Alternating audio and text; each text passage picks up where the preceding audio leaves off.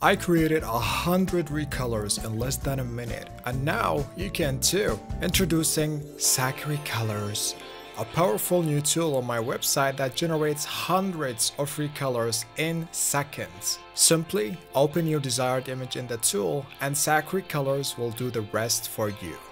You can even set how many recolors you'd like and SacriColors will work its magic, delivering them quickly and effortlessly.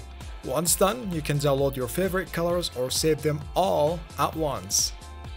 Then, easily import them into your favorite CC creation program like the amazing Sims 4 Studio that we all love.